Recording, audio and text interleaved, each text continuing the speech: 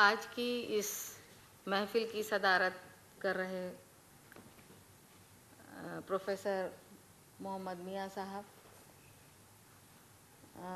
Professor मुशतबा Hussain साहब, उस्ताद मोहतरम professor Mujawir Hussain साहब डॉक्टर निखत जहाँ साहिबा, और इस अदबी जलसे में शिरकत करने वाले तमाम हाजरीन असलकुम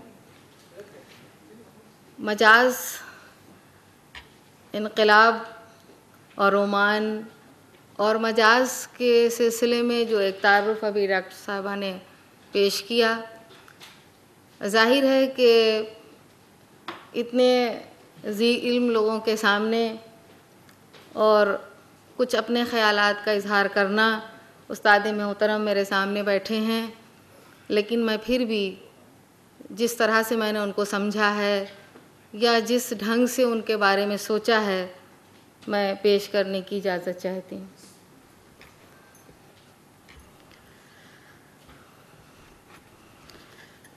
उनवान है मजाज इनकलाब का रोमानी मुसाफिर। मजाज की शेरी शख्सियत की तफहीम के लिए ये ज़रूरी है कि उस मंजरनामे पर भी एक नज़र डाल ली जाए जो 1930 से 1955 तक मुहित है।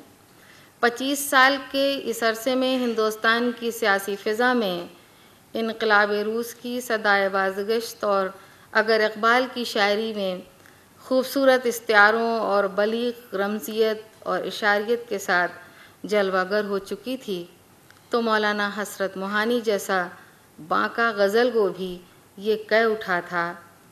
कि लेनिन की तरह देंगे दुनिया को हिला हम।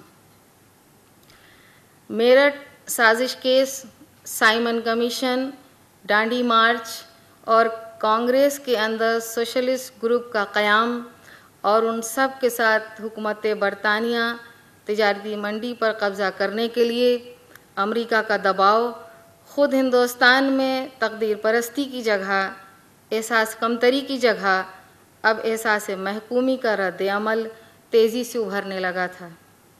समाजी हालात ये थे कि एक तरफ़ हिंदुस्तानी अंग्रेज़ से नफ़रत करता था, दूसरी तरफ़ उसकी लाई हुई ज़र्क बर्क तहजीब इस हद तक मुतासर कर रही थी कि ख़ातून मोहतरम, मादाम और लेडी हो गई थी। और जागीरदारी अशराफिया उसे बर्दाश्त भी नहीं कर पा रहा था, मगर कस्बे छोड़कर शहर की तरफ़ भाग रहा था। जहाँ यही मगरबी तहजीब थी, तहजीबी कर्व का दौर था, जिसमें पढ़ा लिखा नौजवान फ़ैसला नहीं कर पा रहा था कि किधर जाएँ। शेरी फ़िज़ा भी एक तरफ़ सियासी हालात से मुतासर थी, वो जो नारे गूंज रहे थे, और फ़िज़ा में जंजीर की झनकार, तोक़ सलासिल कैद खानों में कोड़ों की आवाज़, और चारों तरफ़ इनकलाब जिंदाबाद की गूंज, वो अगर इकबाल के यहाँ मध्यम लहजे में थी और उनकी खिताबत मुतासर कन हद तक नर्म मगर रमा थी तो जोश के यहाँ ये आवाज़ ललकार में बदल गई थी। मैं सिर्फ़ एक लफ्ज़ सर्फ करने की इजाज़त चाहती हूँ कि जोश की शायरी तिलमिलाहट के साथ किलकिलाहट में बदली हुई थी।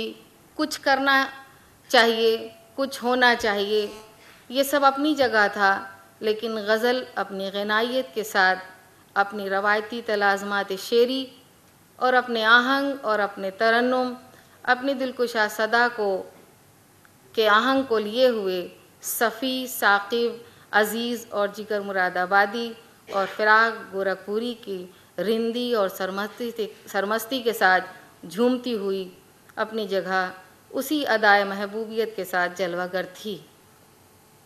मजाज ने इस पूरे मंजरनामे को अपनी शख्सियत के आईने में देखने की कोशिश की है।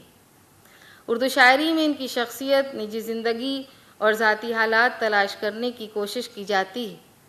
ये नज़रियाती बहस की शख्सियत और ज़ाती ज़िंदगी किन हद तक कलाम पर असरानंदाज होती है, शायरी शख्सियत से गुरेज़ का नाम है या शख्सियत का इजहार इन मबाहिस को छोड़ने की, छेड़ने का यहाँ मौका नहीं है सिर्फ़ इतना अर्ज़ करना है कि मजाज के शेरी रवैये में उनके माहौल और मंजरनामे को बहरहाल दखल था। और वो मंजरनामा किसी मौज तहनशी इश्क को भी अपनी लहरों में समझ सकता था। इससे कत नज़र उनकी शायरी में एक बगावत का अंसर अपने माहौल को बदल देने की ख्वाहिश, तमन्ना और तड़प और फिर कुछ ना कर सकने की कसक मिलती। उन्होंने अपनी शायरी का आगाज़ गज़ल से किया, फ़ानी से इसलाह ली, जज्बी का साथ रहा, सुरूर साहब उनके हमासर थे और अबुल्ला सिद्दीकी जिन्होंने लखनऊ का दबिस्तान शायरी लिखा, अलीगढ़ में भी उनका साथ रहा। जिनकी वजह से क्लासिकी शोरा को भी थोड़ा बहुत पढ़ा, मगर सही ये है कि उन्होंने उसमें से किसी का असर कबूल नहीं किया। उनकी अपनी शख्सियत भी एक फितरी रद्द अमल वाली कैफियत थी। जैसे किसी बच्चा से ये कह दिया जाए कि ये ना करो तो वो वही करेगा। रोमानियत में दरअसल यही होता है, कुछ करने की तमन्ना। हमारी ज़बान में अगर गालिब से अल्फाज मुस्तार लिए जाएँ तो वामानदीगे शौक़, पनाहें, तराशती है, तलाश करती है। अंग्रेज़ी शोरा में देखिए, वर्सवत ने फितरत के दामन में पनाह ली। कीट्स और शैली वगैरह इश्क की दुनिया में चले गए, मजाज के सामने भी कुछ कर गुजरने की ख्वाहिश थी। उसे अंग्रेज़ी शोरा के मुकाबले एहसास महकूमी के जब्र ने दबा रखा और अभी जिस पस मंज़र का ज़िक्र किया गया, जिन नारों की बात की गई, वो सब मिलकर उन्हें एक ऐसी शाहराह पर ले आए, जहाँ एक तरफ़ सियासत का रंगी महल था, सिर्फ़ सोचने की हद तक, और दूसरी तरफ़। शेर है, तुमसे मिलने में अब अंदेश रसवाई है या अल्लाह करे ज़ोर शबाब और हो ज़्यादा। जैसे पहलू भी थे। मजाज ने उन्हें मुतसादिम होने नहीं दिया। उन्हें अलग अलग खानों में इस तरह रखा कि दोनों की सरहदें कभी कभी एक नज़र आती हैं। वो अपने शेरी माहौल से बच नहीं सकते, सके। कुछ उन्होंने ऐसी ही नज़में भी लिखी हैं। बोल अरियो धरती बोल, राज सिंहासन डावा डोल। बादल, बिजली, रैन अंधियारी दुख की मारी, परजा सारी। बूढ़े बच्चे दुखिया हैं, दुखिया नर हैं, दुखिया नारी। या, लाल झंडा है हमारे हाथ में, इस नज़ में देखिए। लाख लश्कर आए, कब हिलते हैं हम। आंधियों में जंग के खुलते हैं हम। मौत से हंसकर गले मिलते हैं हम। लाल झंडा है हमारे हाथ में।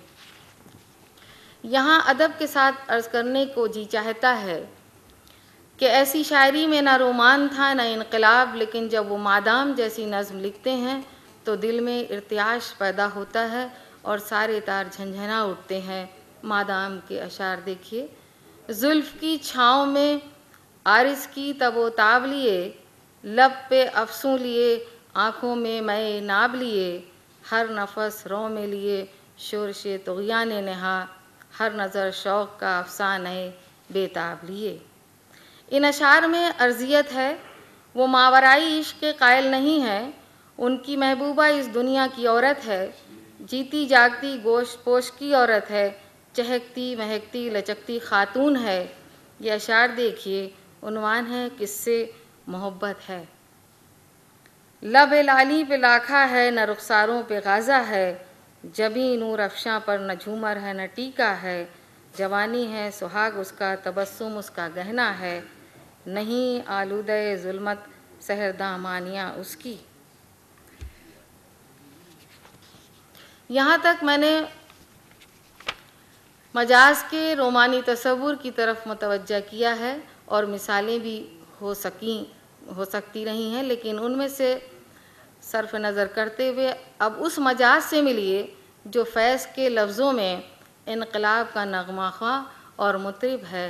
यही वजह है कि मजाज के शेर में बकौल फैज़ अहमद फैज़, यही वजह है कि मजाज के शेर में थकन नहीं मस्ती है, उदासी नहीं सरखुशी है।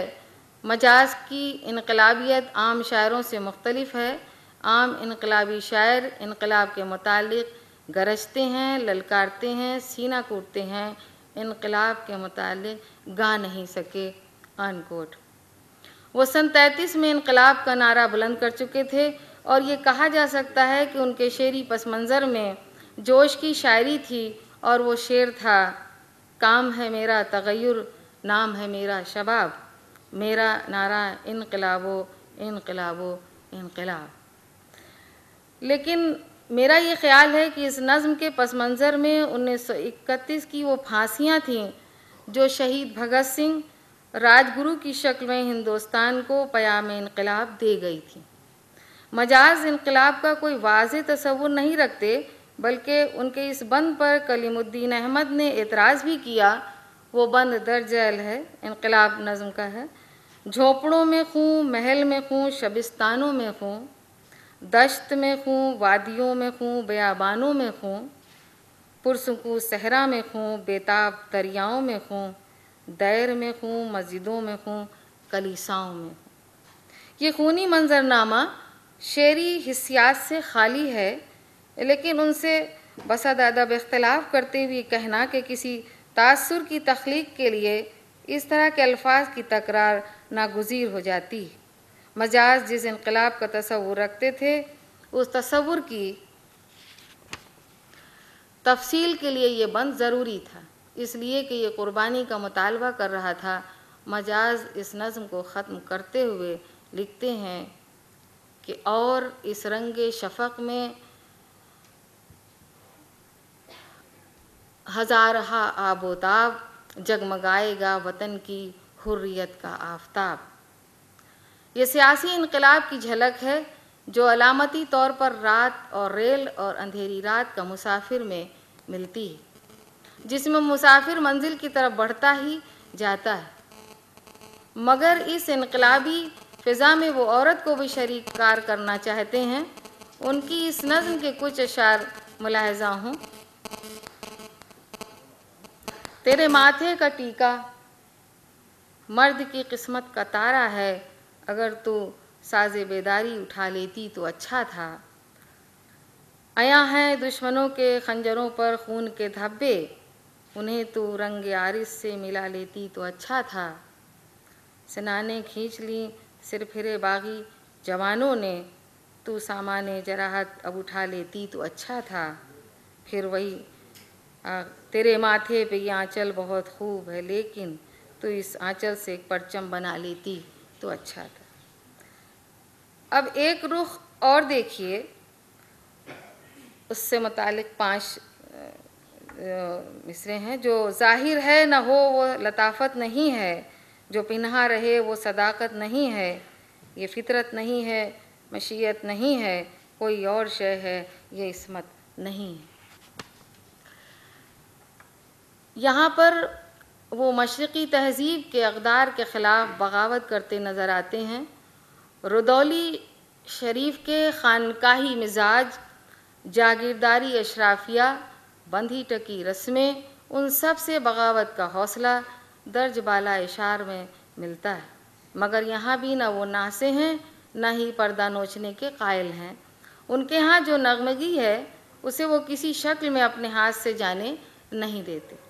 उनकी शख्सी ज़िंदगी के बारे में कुछ लिखना मेरे लिए मुनासिब नहीं और उनकी सीरत और पहलू ऐसे नहीं हैं जिस पर एक मशरक़ी ख़ातून कुछ लिखे। बस इतना लिख कर मैं आगे बढ़ती हूँ कि मजाज ने जो कुछ भी कहा, उसमें नगमा व आहंग का ख्याल रखा और इसीलिए चाहे वो सियासी इनकलाब की बात हो, चाहे समाजी तब्दीली का तस्करा हो, कहीं भी चीखते, चिल्लाते, गरजते, कड़कते नज़र नहीं आते। उनकी शायरी में, हमारे इलाहाबाद की ठेठ ज़बान में गंगा का बहाव है, जमुना का गैज़ गज़ब नहीं। वो हरफ तमन्ना का शायर है, उसकी निशात फ़िक्र जब ये कहती है कि सदाए तीशय मज़दूर है तेरा नगमा तो संग खिश से चंगो बाप पैदा कर। बहे ज़मी पे जो मेरा लहू तो गम मत कर, इसी ज़मी से महकते गुलाब पैदा कर। तो इनकलाब की आमद का इंतज़ार न कर जो हो सके तो अभी इनकलाब पैदा कर, नज़म नौजवान से है। इस तरह के अशार में मुस्तबिल का ख्वाब है, राना ये फ़िक्र है, वो कैफियत है जो सुबह के उजाले को सुनहरापन बख्शती है, जहाँ ये उम्मीद अफजा बशारत मिलती है कि तारे लरज रहे हैं और सुबह दस्तक दे रही है। वो फूलों की महक और कलियों के चटकने में अगर सदाए जंजीर और शमशीर सुनते हैं तो उसी के साथ वो बरबत के तारों की झनकार को नज़रअंदाज नहीं करते।